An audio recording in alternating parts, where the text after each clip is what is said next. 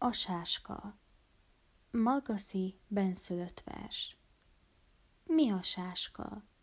A feje gabonaszem, a nyaka kés csuklóvasa.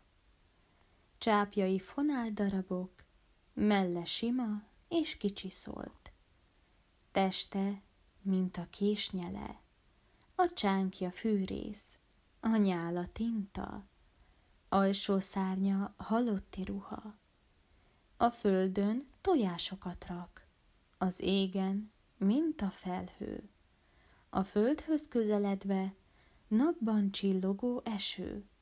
Villámkét csap a vetésre, aztán csattog, mint az olló. Hajár, borotva és pusztulás.